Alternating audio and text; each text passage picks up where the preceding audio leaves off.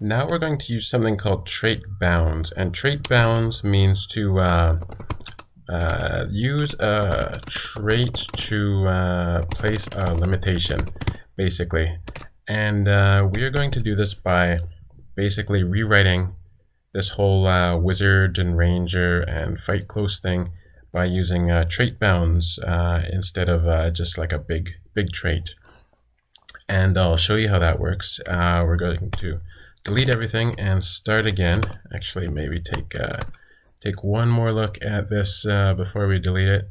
So we have a struct, we have uh, some other ones. We gave them some uh, some traits here. We made uh, a trait called fight close, and it requires this, and uh, gave it two functions. Gave it you know gave this this trait to our wizard and ranger type, and then we use those functions. So that is what that looks like. And this is going to be basically the same, except for it's, uh, it might be, you know, your preference to use uh, trait bounds instead. And so we have a monster as before, and health is an I32, and we only need one bracket there. And then we are going to uh, give derive debug to our types again wizard. So this time, wizard is going to have health as well. So this is different. And uh, then we are also going to uh, do the same for a ranger. And this time the ranger also gets health. So we're going to do some things to their health, I think. And then here come the trait bounds.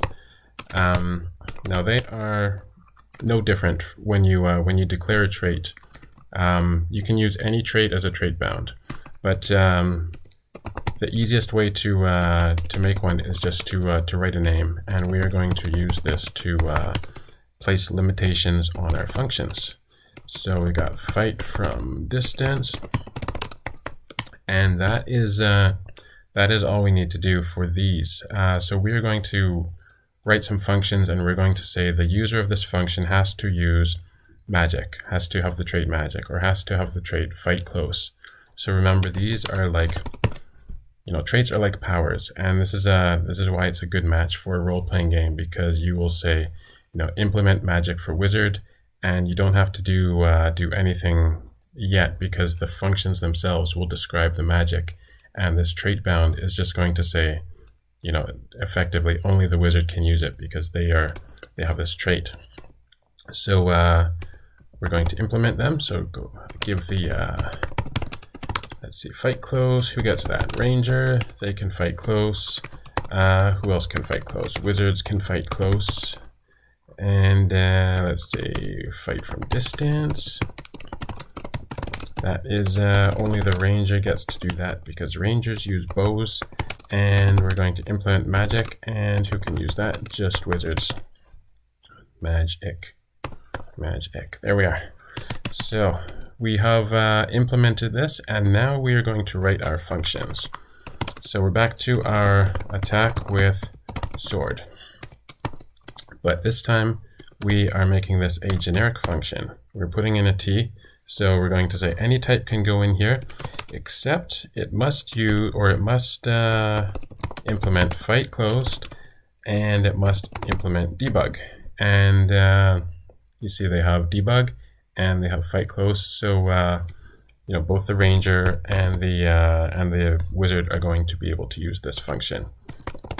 So the character is a T, our reference to T, and the opponent is a mute monster because we are changing their health and minus equals 10 that's the same and I'm going to copy and paste this in because this is the same. You attack with your sword, your opponent has something health left, you are now at blah blah blah.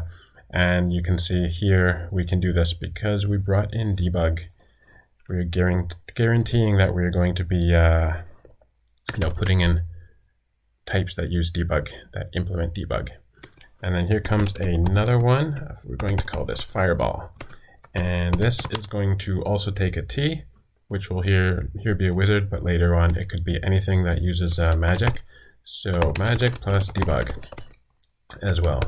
So you can see you start, uh, you know, doing this here. And you can also, you know, the the other format is where T, you know, fight close, and you uh, you do it uh, after the signature, before the before the brackets. But here it's uh, you know it's not too it's not too long yet, so we can just uh, stick it in here inside the uh, the angle brackets.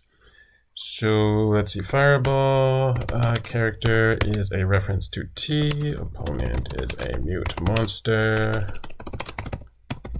and uh, the uh, distance is U32, and then we're going to use the same logic that we used with the uh, with the bow, where you can cast a fireball at a certain distance, and we it's the same logic, so uh, we just copy and paste. So if uh, if you were under you know 15 away, then uh, your opponent gets hit with the fireball, is down by uh, by 20 20 points, and then it says uh, you know you raise your hands and cast a fireball, blah blah blah, and then uh, you know prints you out. And right now we're using debug just because it's easy. Uh, in real in a real game, we would want to implement display so we can we can say you know you are at whatever we want to say instead of you are now at wizard health 10 or whatever, whatever the debug print is going to give us. And uh, so that is, uh, those are our functions. We're not going to worry about the other ones right now. And down in main, we're going to do the same thing as before. We have Radagast, who is a wizard, and uh, this time he needs health. So we will give him 60 and let Aragorn equals Ranger, and uh, what's his health? What did I give him? 80. And then uh, they're fighting an Uruk-hai again, who's a monster. Health 40. And then don't forget the semicolon. And then we're going to do our uh, functions. So attack with sword and we put in a reference to Radagast so we can uh, print out his information and mutable reference to Uruk-hai so we can uh, we can reduce his health and then attack with uh, wait did I have attack with bow yeah I'm just gonna I forgot about uh, attack with bow so let's uh, put it in there exactly the same as fireball as before except uh, you have to implement uh, fight from distance and debug. So this, uh, this will make sure that only the ranger can use it. And uh, you recognize all of this from before. It's exactly the same except for we're printing, so we require debug. And then, let's see, and then finally, fireball. And uh, so that is a reference to Radagast, and then a mutable reference to the Uruk-hai, and I think, uh, oh, that's right, the distance. Uh, attack with bow. Let's see. This should be Aragorn, because only he has the bow. And uh, they are, we'll say they are eight spaces away, so we give them eight distance. And I think that's enough. Let's hope it works. Attack with, attach with sword. That's not right. Attack with sword. And there we go. So you attack with your bow. Your opponent has blah blah blah. Let's uh, let's move that to the left so we don't get all that empty space. I mentioned this back in the uh, in the video on printing, where the uh, the first line uh, when you start uh, the the double quotes here, it uh, puts you all the way on the left. But if you go to a, to a second line, you have to uh, move it over here, otherwise it'll be empty space. So uh, let's see, you attack with bow, 30 health left, uh, you are now at ranger, and see here, this is the, uh, the debug uh, printing I told you about that we would want to make nicer with uh, display, but we won't do that now.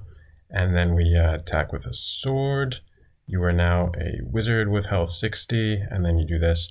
And now your opponent has uh, zero health left, and we have uh, successfully defeated the Uruk-hai